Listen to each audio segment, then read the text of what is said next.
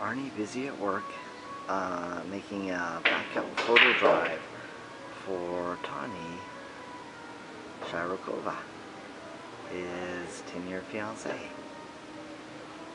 And it's going very, very well.